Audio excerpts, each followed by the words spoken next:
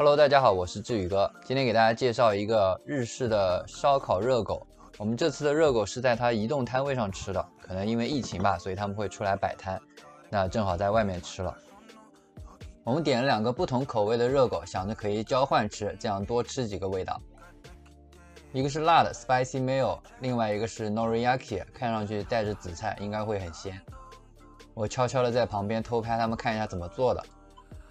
其实制作方法好像看着并不难，面包的话就是烤一下，把外皮烤酥脆一点，然后香肠加热一下。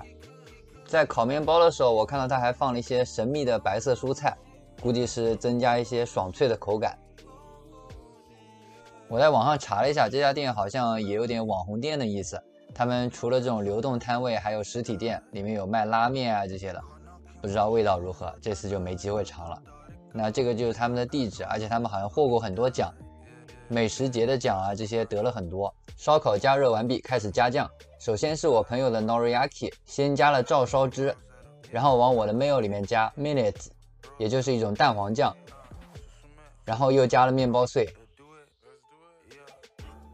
接着又加了一次蛋黄酱，这次两个热狗都加了。之后给 Noriaki 加了紫菜片和芝麻，洗手准备开吃。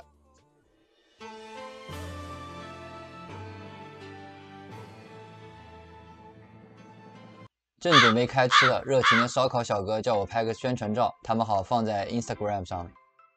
那我只能即兴跳了一段 Breaking。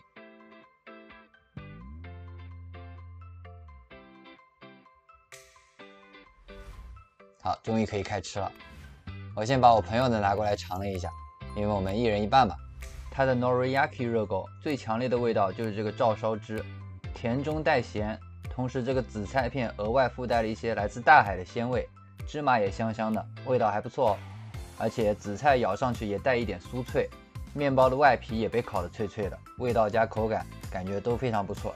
一起咬下去，满口的香香脆脆。对了，它这个热狗里面的香肠主要是猪肉做的，好吃。接着就是我自己买的这个 spicy mayo 热狗，价格竟然要十一块，让我有点心痛。我这个里面香肠是鸡肉的，主要酱料是蛋黄酱，甜甜的。